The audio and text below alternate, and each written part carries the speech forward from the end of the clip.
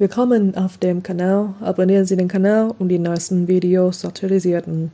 Heute bringen wir Ihnen Darmkrebs. Howard Carpenter wurde zur Behandlung ins Krankenhaus eingeliefert. Howard Carpenter ist ein berühmter deutscher Sänger und Songwriter, der gegen eine gefrischte Krankheit kämpfen musste. Darmkrebs. Quellen zufolge wurde er ins Krankenhaus eingeliefert und musste sich verschiedene Therapien unterziehen, um die Krankheit zu behandeln. Es war jedoch Howard Carpenter, der an sich der Krankheit aus Dauer und Geduld bewies.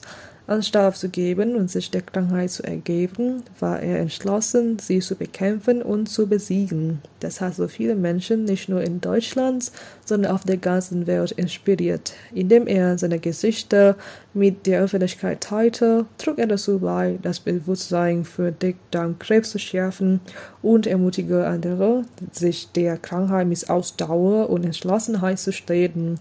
Er beweist, dass es auch in den schwersten Situationen Hoffnung gibt und dass wir, wenn wir durchhalten, jede Herausforderung im Leben meistern können.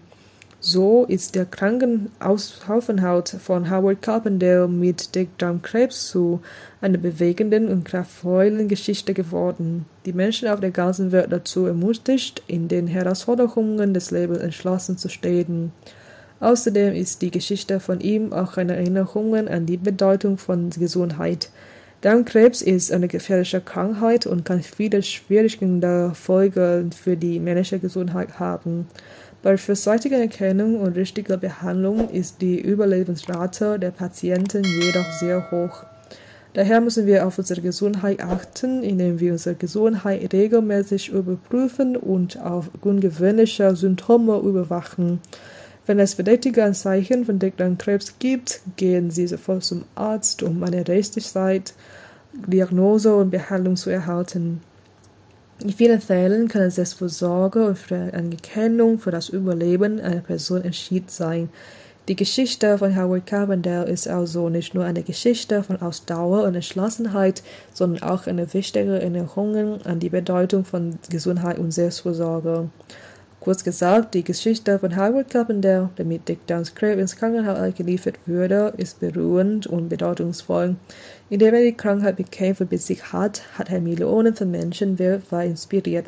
Gleichzeitig ist seine Geschichte auch eine Erinnerung an die Bedeutung von Gesundheit. Darüber hinaus zeigt die Geschichte von Howard Carpenter auch, wie wichtig das Teilen und die Unterstützung bei der Bewältigung von Krankheit sind. In seinem Kampf gegen den Krebs erhält Howard nicht nur Unterstützung und Ermutigung von Familien und Freunden, sondern auch von seiner Fangemeinde.